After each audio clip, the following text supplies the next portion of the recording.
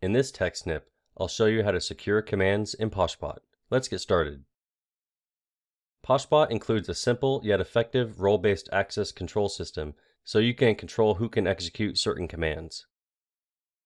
To start, let's take a look at this demo plugin that I've already created.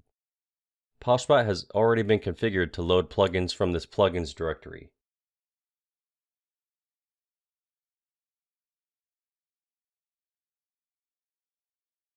To learn how to do that, check out the How to Create a Simple Poshbot Plugin snip.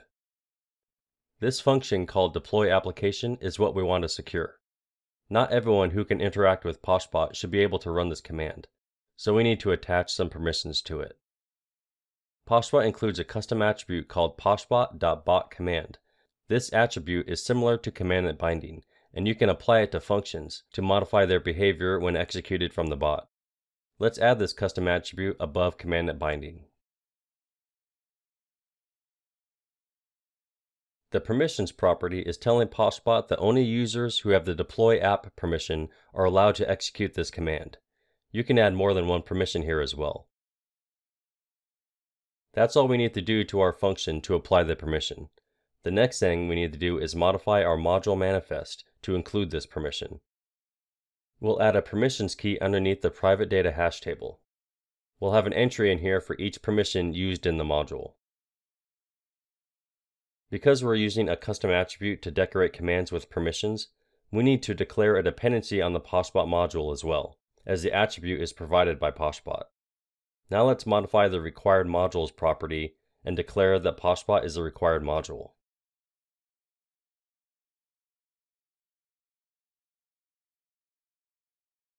And that's it for modifying our module.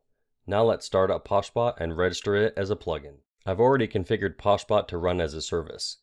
You can check out the How to Run Poshbot as a Windows Service snip for more information. Okay, now that Poshbot is started, let's head over to Slack.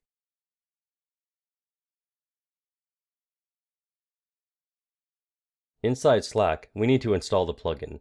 To do that, we'll run the install plugin command.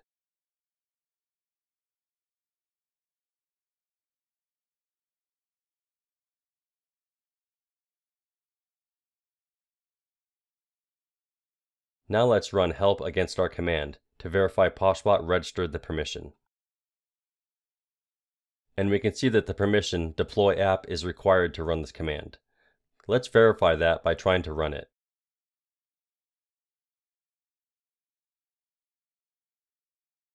And it comes back saying we're unauthorized because we don't have the required permission. To grant this permission, we need to go through a few more steps. Poshbot's RBAC system uses permissions, roles, and groups to control access to commands.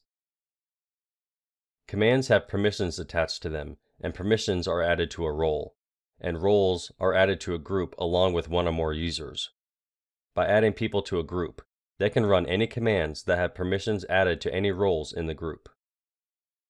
You'll need to be a bot admin or have the permission called Manage Permissions to work with groups, roles, and permissions.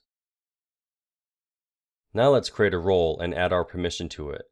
We'll use the built-in command new role and add role permission for this. We'll call our role deployer. Now that the role is created, we need to create a group called release team and add the role to it.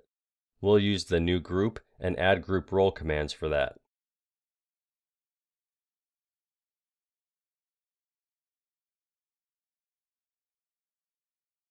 And finally, we'll add our user ID to the group with the add group user command.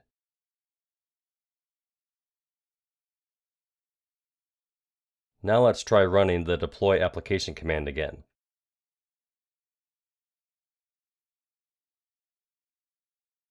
And you can see we're allowed to run the command. And that's how you can secure commands in Poshbot.